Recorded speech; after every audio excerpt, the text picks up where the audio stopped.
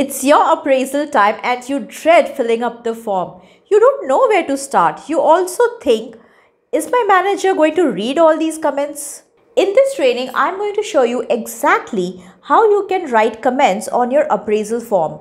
These methods have been widely used by my students from the Career Transformation Paid Program, helping them earn a minimum hike of 20%. What has been your biggest struggle in filling up an appraisal form? Leave your thoughts in the comment section below. Your comments are valuable to this community. Before diving in, please subscribe and hit that notification bell to be informed whenever such awesome videos are published from this channel.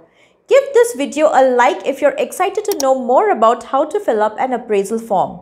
Follow me on LinkedIn where I share career growth related tips regularly. Hello, I am Madhurima, India's first 10x corporate readiness transformer.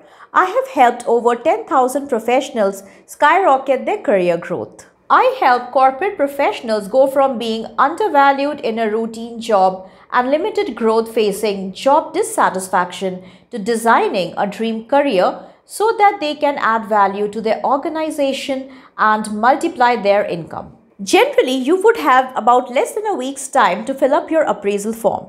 Usually what people do is they directly jump into the appraisal form and start filling up the comments. This is wrong and really nuts. You should start by collating your data against the key result areas or KRAs. You should then write them on an Excel sheet. Your KRAs are goals that would have been given to you by your manager at the start of the year. Once you're done filling up an Excel sheet with the data on your KRAs, that is when you should move on to filling up the appraisal form. In a minute, I am going to share my laptop screen and show you exactly how to draft comments on an appraisal form. Now, if you are serious about your career and need some help with resume writing with reference to the resume header, profile section, work experience, skills, etc., then I share all of this in the Breakthrough Resume course. This is a recorded training that you can take at your preferred time and pace. The link of this course is given in the description box below. Grab this course today and start writing your resume. Generally, you would have to leave comments on your local HR portal. For the sake of this explanation, I am going to show this to you on an Excel sheet. You can see the key result areas on the left hand side. You have the comment section here and then you have to give yourself a rating for each area next. Your first KRA is number of errors discovered by external quality for this example. If we have to refer to the data, it is 18 that we got. If we look at the range, then it falls under meets expectations. Here is what we write in the comments. In the recent external quality assessment, 18 errors were identified within our project deliverables. Recognizing the seriousness of this feedback, I immediately took responsibility to understand the root causes of these discrepancies. A comprehensive review was conducted which not only pinpointed the specific areas of oversight but also led to the implementation of a quality assurance protocol to prevent reoccurrence. This included enhanced training for myself on quality standards and the introduction of regular internal reviews prior to external submissions. Since these corrective measures were put in place, subsequent projects have shown a significant reduction in errors, marking a 95% improvement in quality compliance. Writing your comments in an elaborated way allows you to showcase the behind the scenes scenarios for your manager now, some portals may have a word limit. So, what you do in this case is you write a brief comment on the appraisal form, but write the elaborated comment on the Excel sheet and show this sheet to your manager. Make sure that you also elaborate these points in your appraisal meeting. Also, if you have underachieved something, be ready with the reasons and the action that you have taken to overcome them in future. Refrain from using short comments as far as possible. Always elaborate your comments on your performance. Let us move to the second KRA, number of audits completed. If we have to refer to the data, it is 80 that we got. If we look at the range, then it falls under exceed expectations. Here is what we write in the comments. Over the course of the evaluation period, I successfully completed 80 audits, a milestone that not only meets but substantially exceeds the set expectations for my role. This achievement was the result of diligent planning and commitment to maintaining the highest standards of accuracy and efficiency in our processes. The completion of these audits has played a crucial role in enhancing the operational integrity and compliance of our team, directly contributing to a 30% improvement in our internal process efficiencies and a noticeable reduction in compliance related issues.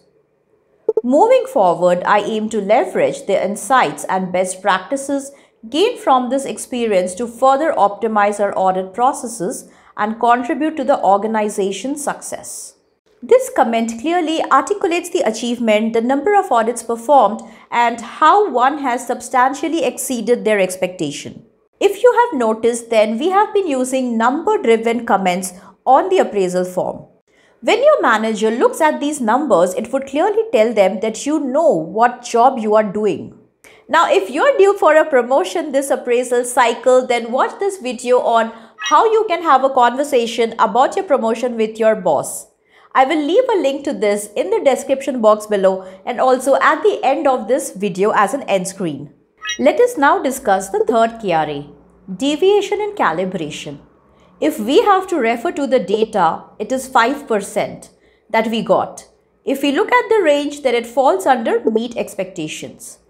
Here is what we write in the comments.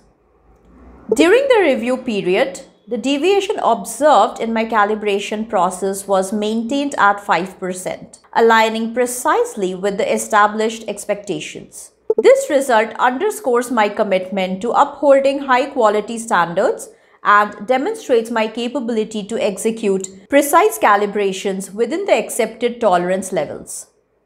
Recognizing the importance of striving for even greater accuracy, I have already initiated a review of our calibration procedures to identify opportunities for further refinement.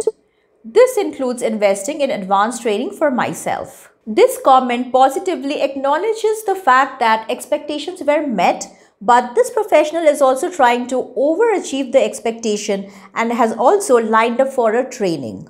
Let's come to KRA number 4. Number of process improvements. If we have to refer to the data, it is 8 that we got. If we look at the range, then it falls under almost meets expectations category. Here is what we write in the comments. Over the past evaluation period, I have successfully implemented 8 process improvements. While this achievement demonstrates a solid commitment, it falls marginally short of the expected benchmark for this review cycle. I have taken proactive steps to address this gap. This includes conducting a thorough analysis of our current processes to identify underlying issues that may have limited our ability to achieve more substantial outcomes. Based on this analysis, I am developing a targeted action plan that includes specific strategies for streamlining workflows, enhancing team collaboration, and leveraging technology to increase efficiency.